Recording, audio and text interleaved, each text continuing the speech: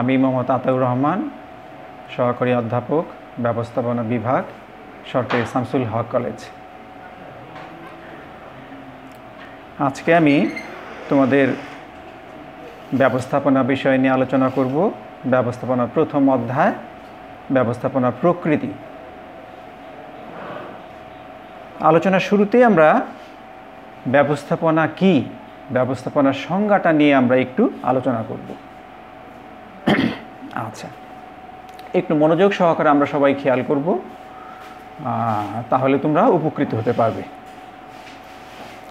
আমরা জানি যে ব্যবস্থাপনা শব্দের ইংরেজি প্রতিশব্দ হচ্ছে ম্যানেজমেন্ট বাংলা ব্যবস্থাপনা শব্দের ইংরেজি প্রতিশব্দ হচ্ছে ম্যানেজমেন্ট আর এই ম্যানেজমেন্ট শব্দটি আসছে ল্যাটিন শব্দ ম্যানেজিয়ারির থেকে। আচ্ছা। আবিধানিক অর্থে আবিধানিক অর্থে ব্যবস্থাপনা শব্দের অর্থ হচ্ছে কোনো কিছু পরিচালনা বা নিয়ন্ত্রণ করার কৌশল। আমি আবারও বলি, আবিধানিক অর্থে ব্যবস্থাপনা বলতে আমরা বুঝি কোনো কিছু পরিচালনা বা নিয়ন্ত্রণ করার কৌশল। কিন্তু প্রকৃত অর্থে আমরা ব্যবস্থাপনা বলতে বুঝি, অন্যকে দিয়ে কাজ করে নেওয়ার কৌশলকেই বলা হয় ব্যবস্থাপনা। তাহলে প্রকৃত অর্থে আমরা ব্যবস্থাপনা বলতে আমরা কি বুঝলাম? যে অন্যকে দিয়ে অথবা অধীনস্থদেরকে দিয়ে কাজ করিয়ে নেওয়ার কৌশলকেই বলা হয় ব্যবস্থাপনা। বিষয়টা আমি পরিষ্কার করে বলি, তোমরা একটু মনোযোগ দিয়ে খেয়াল করো। ব্যবস্থাপনায় যারা থাকেন তাদের অধীনস্থ যারা থাকেন, তারা কিন্তু সবাই একই রকম হয় না। ব্যবস্থাপনার দায়িত্ব হচ্ছে তাদের স্বভাব, আচার, আচরণ খেয়াল করে তাদের সঙ্গে সেইভাবে আচরণ করে তাদের কাছ থেকে কৌশলে কাজটা আদায় করিয়ে নেওয়া। অর্থাৎ অধীনস্থদের দিয়ে কাজটা করিয়ে নেওয়ার কৌশলটাকেই বলা হয় ব্যবস্থাপনা। এখন আমরা ব্যবস্থাপনার সংজ্ঞাটা যদি দিতে যাই, তাহলে কীভাবে আমরা কীভাবে আমরা ব্যবস্থাপনার সংজ্ঞাটা দিব? একটু খেয়াল করব আমরা। আমরা জানি যে প্রত্যেকটা ব্যবসায় প্রতিষ্ঠানেরই একটা লক্ষ্য বা উদ্দেশ্য থাকে। প্রত্যেকটা ব্যবসায় প্রতিষ্ঠানেরই একটা কি থাকে? লক্ষ্য বা উদ্দেশ্য থাকে। সেই লক্ষ্য বা উদ্দেশ্য অর্জন করার জন্য ব্যবস্থাপককে প্রথমত বা ব্যবস্থাপনা কর্তৃপক্ষকে প্রথমত একটি সুন্দর পরিকল্পনা তৈরি করতে হয়। ব্যবস্থাপনা কর্তৃপক্ষকে একটি সুন্দর পরিকল্পনা তৈরি করতে হয়। অতপর সেই পরিকল্পনাটা বাস্তবায়ন করার জন্য ব্যবস্থাপনা কর্তৃপক্ষকে আরও কিছু কাজ করতে হয়। সেই কাজগুলো কি কি? যেমন সংগঠন কর্মী সংস্থান, নির্দেশনা, প্রেষণা, সমন্বয় সাধন ও নিয়ন্ত্রণ। এই কাজগুলো করতে হয়। তাহলে আমরা কি পেলাম? আমরা পেলাম যে ব্যবস্থাপনা কর্তৃপক্ষকে প্রাতিষ্ঠানিক লক্ষ্য বা উদ্দেশ্য অর্জনের জন্য প্রথমত একটি সুন্দর বা নির্ভুল একটি পরিকল্পনা তৈরি করতে হয়। অতপর সেই পরিকল্পনাটা বাস্তবায়ন করার জন্য ব্যবস্থাপনা কর্তৃপক্ষকে আরও কতগুলো কাজ করতে হয়। সেই কাজগুলো হচ্ছে যথাক্রমে সংগঠন, কর্মী সংস্থান, নির্দেশনা, প্রেষণা, সমন্বয় সাধন ও নিয়ন্ত্রণ। এই কাজগুলো তাহলে মোট ব্যবস্থাপনার কাজ কয়টা দাঁড়াল? সাতটি কাজ। অর্থাৎ পরিকল্পনা, সংগঠন, কর্মী সংস্থান, নির্দেশনা, প্রেষণা, সমন্বয় সাধন ও নিয়ন্ত্রণ। এই সাতটি কাজ যদি যথার্থভাবে করা যায়, ব্যবস্থাপনা কর্তৃপক্ষ যদি এই সাতটি কাজ সুন্দরভাবে করতে পারেন, তাহলে প্রাতিষ্ঠানিক লক্ষ্য বা উদ্দেশ্য অর্জন করা সম্ভব হয় কিংবা সহজ হয়। কিন্তু এই সাতটি কাজ যদি ব্যবস্থাপনা কর্তৃপক্ষ যদি সুন্দরভাবে করতে না পারেন, তাহলে প্রাতিষ্ঠানিক লক্ষ্য বা উদ্দেশ্য অর্জন কী হয়? ব্যাহত হয়। সেই জন্যই ব্যবস্থাপনা কর্তৃপক্ষকে এই সাতটি কাজ সুন্দরভাবে, যথাযথভাবে সম্পন্ন করতে হয়। তাহলে আমরা যদি এখন ব্যবস্থাপনার সংজ্ঞাটা দিতে যাই, সুন্দর একটা সংজ্ঞা দিতে যাই, তাহলে কীভাবে সংজ্ঞাটা দিতে পারি? যে প্রাতিষ্ঠানিক লক্ষ্য বা উদ্দেশ্য অর্জনের জন্য প্রথমত পরিকল্পনা প্রণয়ন করা, অতপর সেই পরিকল্পনাটা বাস্তবায়ন করার জন্য সংগঠন কর্মী সংস্থান, নির্দেশনা, প্রেষণা, সমন্বয় সাধন ও নিয়ন্ত্রণ সংক্রান্ত কাজকেই বলা হয় ব্যবস্থাপনা। আমি আবার বলি, প্রাতিষ্ঠানিক লক্ষ্য বা উদ্দেশ্য অর্জনের জন্য পরিকল্পনা কমা দিয়ে কমা দিয়ে আমরা বলতে পারি যে প্রাতিষ্ঠানিক লক্ষ্য বা উদ্দেশ্য অর্জনের জন্য পরিকল্পনা, সংগঠন, কর্মী সংস্থান, নির্দেশনা, প্রেষণা, সমন্বয় সাধন ও নিয়ন্ত্রণ সংক্রান্ত কাজকেই বলা হয় ব্যবস্থাপনা। আমি আবার বলি ব্যবস্থাপনার সংজ্ঞাটা, তোমরা মনোযোগ দিয়ে একটু শোনো। ব্যবস্থাপনা বলতে আমরা বুঝি যে প্রাতিষ্ঠানিক লক্ষ্য বা উদ্দেশ্য অর্জনের জন্য পরিকল্পনা, সংগঠন, কর্মী সংস্থান, নির্দেশনা, প্রেষণা, সমন্বয় সাধন ও নিয়ন্ত্রণ সংক্রান্ত কাজকেই বলা হয় ব্যবস্থাপনা। তাহলে আমি আবার পুরো পুরো আলোচনাটা আবার আমি একটু রিপিট করি। একটু তোমরা মনোযোগ দিয়ে খেয়াল করো যে ব্যবস্থাপনার সংজ্ঞাটা আমরা আবার একটু রিপিট করি। আবিধানিক অর্থে ব্যবস্থাপনা বলতে আচ্ছা তাহলে আমরা জানি যে আধুনিক ব্যবস্থাপনার জনক হচ্ছেন হেনরি ফেওল আমরা জানি যে আধুনিক ব্যবস্থাপনার জনক হচ্ছে হেনরি ফেওল। হেনরি ফেওল ব্যবস্থাপনার একটি সুন্দর সংজ্ঞা দিয়েছেন। সেই সংজ্ঞাটা আমরা জানব। এখানে ব্যবস্থাপনার সংজ্ঞাটা হচ্ছে, উনি যে সংজ্ঞা দিয়েছেন সেই সংজ্ঞাটা হচ্ছে, ব্যবস্থাপনা হচ্ছে পূর্বানুমান ও পরিকল্পনা, সংগঠন, নির্দেশনা, সমন্বয় সাধন ও নিয়ন্ত্রণের কার্যক্রম বিশেষ। আমরা আবার বলি, ব্যবস্থাপনার জনক হেনরি ফেওল ব্যবস্থাপনার যে সংজ্ঞা দিয়েছেন, সেটি হচ্ছে পূর্বানুমান ও পরিকল্পনা, সংগঠন, নির্দেশনা, সমন্বয় সাধন ও নিয়ন্ত্রণ। সংজ্ঞাটা মনে রাখার জন্য তোমাদের একটু উপায় বলে দিই।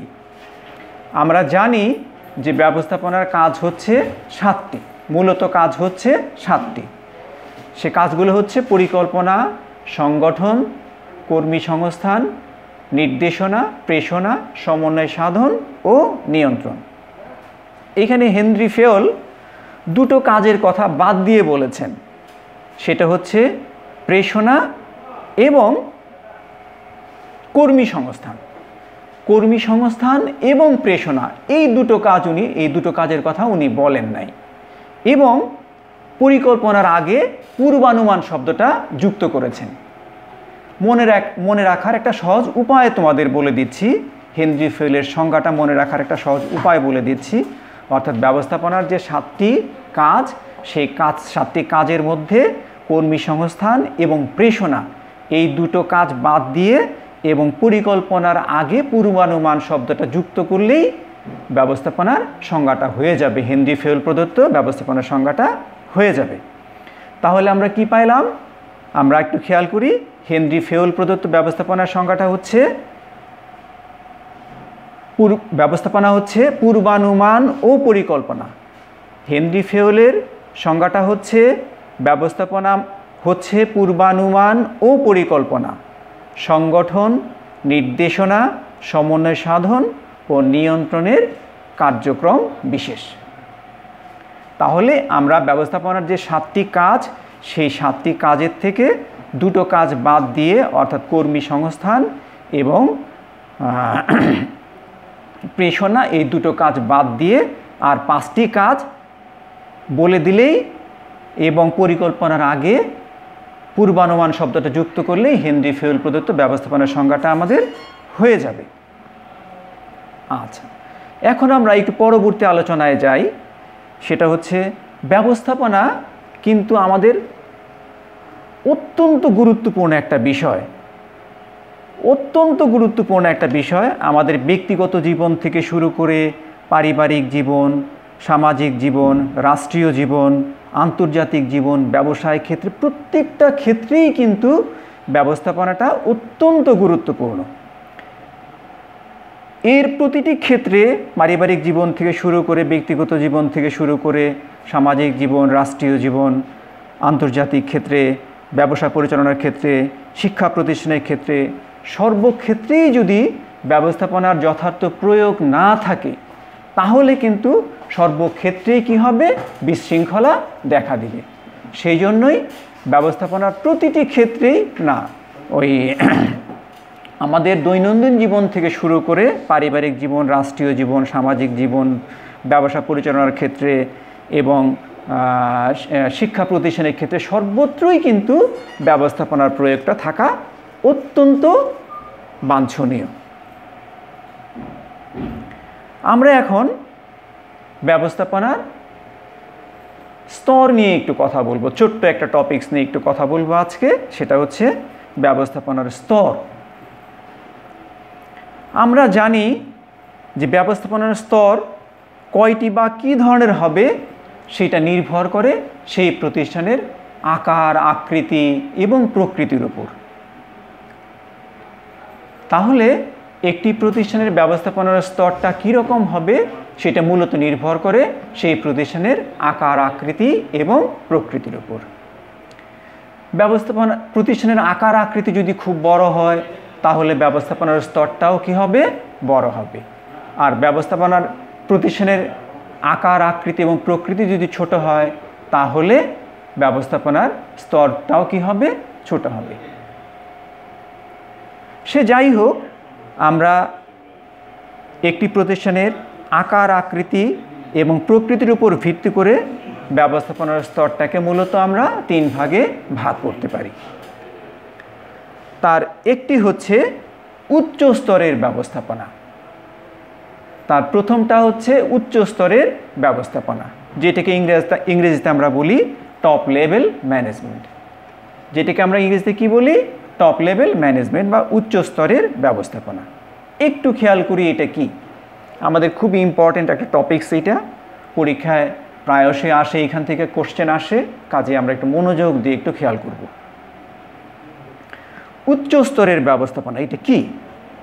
ব্যবস্থাপনা প্রক্রিয়ার যে স্তরে প্রতিষ্ঠানের লক্ষ্য নির্ধারণ, পরিকল্পনা প্রণয়ন, নীতি নির্ধারণ, অর্থ সংস্থান, আদেশ নির্দেশ দান ইত্যাদি কার্যাবলী সম্পাদন করা হয় যে স্তরে, সেই স্তরটাকেই বলা হয় উচ্চ স্তরের ব্যবস্থাপনা। অর্থাৎ ব্যবস্থাপনার যে স্তরে প্রতিষ্ঠানের জন্য পরিকল্পনা প্রণয়ন, নীতি নির্ধারণ, উদ্দেশ্য ঠিক করা অর্থ সংস্থান করা, আদেশ নির্দেশ দান করা, ইত্যাদি কার্যাবলী সম্পাদন করা হয়। ব্যবস্থাপনার সেই স্তরটাকেই বলা হয় উচ্চ স্তরের ব্যবস্থাপনা। সাধারণত এই স্তরের এই স্তরের কাজগুলোকে থিঙ্কিং ফাংশনস কাজও বলা হয়ে থাকে। এই স্তরের কাজগুলিকে থিঙ্কিং ফাংশনস বা চিন্তাশীল কাজ বলা হয়ে থাকে। অর্থাৎ এই স্তরে যারা থাকেন, তারা চিন্তাশীল কাজগুলো করে থাকেন। এই স্তরে কারা থাকেন? এই স্তরে এই স্তরে থাকেন হচ্ছে পরিচালনা পরিষদ বা পরিচালনা পর্ষদ, সভাপতি বা প্রেসিডেন্ট, ব্যবস্থাপনা পরিচালক, সচিব। এই এই এই শ্রেণির লোকগুলো উচ্চস্তরের ব্যবস্থাপনার অন্তর্ভুক্ত। তাহলে উচ্চস্তরে কারা থাকেন? সভাপতি বা চেয়ারম্যান বা প্রেসিডেন্ট যেটাই বলি না কেন, পরিচালনা পরিষদ বা পরিচালনা পর্ষদ বা বোর্ড অফ ডিরেক্টরস ব্যবস্থাপনা পরিচালক, সচিব ইত্যাদি পদমর্যাদা সম্পন্ন ব্যক্তিগণ কি উচ্চস্তরের ব্যবস্থাপনার আওতাভুক্ত। দ্বিতীয় দ্বিতীয় হচ্ছে মধ্যম স্তরের ব্যবস্থাপনা বা মধ্যস্তরের ব্যবস্থাপনা। এটিকে ইংরেজিতে বলা হয় মিড লেভেল ম্যানেজমেন্ট এটিকে ইংরেজিতে বলা হয় মিড লেভেল ম্যানেজমেন্ট বা মধ্যস্তরের ব্যবস্থাপনা। একটু খেয়াল করব আমরা, ব্যবস্থাপনা প্রক্রিয়ার যে স্তরে উচ্চ স্তরের ব্যবস্থাপনা কর্তৃক গৃহীত সিদ্ধান্ত এবং পরিকল্পনা সমূহ নিম্ন স্তরের ব্যবস্থাপনা কর্তৃক বাস্তবায়ন করা বাস্তবায়নে যারা সচেষ্ট হয়, তারা হচ্ছে মধ্যম স্তরের ব্যবস্থাপনার অন্তর্ভুক্ত। অর্থাৎ উচ্চ স্তরের ব্যবস্থাপনা কর্তৃক গৃহীত পরিকল্পনা এবং সিদ্ধান্তসমূহ যাদের মাধ্যমে বাস্তবায়ন করা হয়, তারা হচ্ছে মধ্যম স্তরের ব্যবস্থাপনার অন্তর্ভুক্ত। আমি আবার বলি যে উচ্চ স্তরের ব্যবস্থাপনা কর্তৃক গৃহীত সিদ্ধান্ত এবং পরিকল্পনা সমূহ যাদের মাধ্যমে বাস্তবায়ন করা হয়, তারা হচ্ছে মধ্যম স্তরের ব্যবস্থাপনার অন্তর্ভুক্ত। এই মধ্যম স্তরের ব্যবস্থাপনা, ব্যবস্থাপনার মধ্যে কারা থাকেন? মধ্যম স্তরের ব্যবস্থাপনা, ব্যবস্থাপনার মধ্যে থাকেন হচ্ছে একটি প্রতিষ্ঠানের বিভিন্ন বিভাগ থাকে। বিভাগের যে ব্যবস্থাপক থাকেন, অর্থাৎ শাখা ব্যবস্থাপক। শাখা ব্যবস্থাপকগণ হচ্ছেন মধ্যম স্তরের বা মধ্যস্তরের ব্যবস্থাপনার অন্তর্ভুক্ত। এখন আমরা আসব নিম্ন স্তরের ব্যবস্থাপনা বা লোয়ার লেভেল ম্যানেজমেন্ট বা নিম্ন স্তরের ব্যবস্থাপনা। ব্যবস্থাপনা প্রক্রিয়ার স্বপ্ন, সর্বনিম্ন স্তরে, স্তরকে, অর্থাৎ প্রতিষ্ঠানের পরিকল্পনা এবং কর্মী কর্মসূচি বাস্তবায়নে প্রত্যক্ষভাবে জড়িত ব্যক্তিদের নিয়ে নিম্ন স্তরের ব্যবস্থাপনা গঠিত হয়ে থাকে। অর্থাৎ পরিকল্প প্রতিষ্ঠানের পরিকল্পনা, গৃহীত পরিকল্পনা সিদ্ধান্তসমূহ যারা সরাসরি বাস্তবায়নের সঙ্গে সম্পৃক্ত থাকেন, তারা হচ্ছে নিম্ন স্তরের ব্যবস্থাপনার অন্তর্ভুক্ত। নিম্ন স্তরের ব্যবস্থাপনার মধ্যে কারা থাকেন? যেমন কর্মনায়ক বা ফোরম্যান, তত্ত্বাবধায়ক বা সুপারভাইজার, এরা হচ্ছেন নিম্ন স্তরের ব্যবস্থাপনার অন্তর্ভুক্ত। এরা কি করেন? নিম্ন স্তরের ব্যবস্থাপনায় যারা থাকেন, এরা কি করেন? নিজেরাও কাজ করেন এবং অধীনস্থ যারা থাকেন, তারা, তারাও কাজ করেন এবং তাদের সঙ্গে সঙ্গে এরা নিজেরাও অনেক সময় কাজ করে থাকেন। এরা হচ্ছেন তাহলে নিম্ন স্তরের ব্যবস্থাপনার অন্তর্ভুক্ত। এইখান থেকে যে কোশ্চেনটা হয়, সেটা হচ্ছে এমসিকিউ অর্থাৎ নৈর্ব্যক্তিক যে প্রশ্নটা হয়, সেটা হতে পারে যে একটা নাম দিয়ে দিতে পারে যে পরিচালক কিংবা সচিব এ কোন স্তরের ব্যবস্থাপনার অন্তর্ভুক্ত। এখানে কতগুলো অপশন দিয়ে দিল। আমরা এখান থেকে যদি আমরা এই আজকের আলোচনা যদি বুঝে থাকি, তাহলে এইখান থেকে আমরা কি করতে পারব? বের করতে পারব যে সচিব কিংবা পরিচালক কিংবা ব্যবস্থাপনা পরিচালক কিংবা চেয়ারম্যান উনি কোন স্তরের ব্যবস্থাপনার অন্তর্ভুক্ত? কিংবা শাখা ব্যবস্থাপক কোন স্তরের ব্যবস্থাপনার অন্তর্ভুক্ত? পরীক্ষা আসলো, তাহলে কিন্তু আমরা যদি আমরা এটা আজকের আলোচনা যদি বুঝে থাকি, তাহলে কিন্তু আমরা বলতে পারব যে হ্যাঁ এ মধ্যম স্তরের বা মধ্যস্তরের ব্যবস্থাপনার অন্তর্ভুক্ত। কিংবা তত্ত্বাবধায়ক কিংবা কর্মনায়ক বা ফোরম্যান, সুপারভাইজার, এরা কোন স্তরের ব্যবস্থাপনার অন্তর্ভুক্ত? আজকের আলোচনা যদি আমরা বুঝে থাকি, তাহলে আমরা বলতে পারব কিংবা লিখতে পারব যে হ্যাঁ এরা নিম্ন স্তরের ব্যবস্থাপনার অন্তর্ভুক্ত। তাহলে আজকে আমরা ব্যবস্থাপনার স্তর নিয়ে আলোচনা করলাম এবং ব্যবস্থাপনার সংজ্ঞাটা নিয়ে আজকে আমরা আলোচনা করলাম। ব্যবস্থাপনার সংজ্ঞা এবং ব্যবস্থাপনার স্তর নিয়ে আলোচনা করলাম। আমি আশা করব এইখান থেকে কোনো ধরনের প্রশ্ন আসলে নিশ্চয়ই আমরা লিখতে পারব অথবা এমসিকিউ থেকে কোনো কোশ্চেন আসলে আমরা সেটা বৃত্ত ভরাট করতে পারব। আচ্ছা। খেয়াল করি একটু, আমরা একটু পরবর্তী আর বিষয় নিয়ে একটু আলোচনা করি। পরবর্তী আর বিষয় নিয়ে একটু আলোচনা করি, সেটা হচ্ছে আমরা এই মাত্রই জানলাম যে ব্যবস্থাপনার কাজ হচ্ছে মূলত সাতটি। ব্যবস্থাপনার কাজ হচ্ছে মূলত কয়টি? সাতটি। আচ্ছা সেই কাজগুলো কি কি? সেই কাজগুলো হচ্ছে পরিকল্পনা, সংগঠন, কর্মী সংস্থান, নির্দেশনা, প্রেষণা, সমন্বয় সাধন ও নিয়ন্ত্রণ। তাহলে ব্যবস্থাপনার কাজ হচ্ছে সাতটি। হেনরি ফেওল, যিনি ব্যবস্থাপনার জনক বলা হয় যাকে, উনি কিন্তু একাই ব্যবস্থাপনার পাঁচটি কাজের কথা বলেছিলেন। ব্যবস্থাপনায় অন্যান্য যারা অবদান রেখেছেন, তারা গবেষণা করে দেখেছেন যে না ব্যবস্থাপনার আরও দুটো গুরুত্বপূর্ণ কাজ আছে। সেই কাজ দুটো কি? কর্মী সংস্থান এবং কর্মী সংস্থান এবং প্রেষণা। তাহলে ব্যবস্থাপনার মোট কাজ দাঁড়াল কয়টি? সাতটি। সেই কাজগুলো কি কি? পরিকল্পনা, সংগঠন, কর্মী সংস্থান, নির্দেশনা, প্রেষণা, সমন্বয় সাধন ও নিয়ন্ত্রণ। ব্যবস্থাপনার এই সাতটি কাজ কিন্তু ধারাবাহিকভাবে একটির পর একটি সম্পন্ন করতে হয়।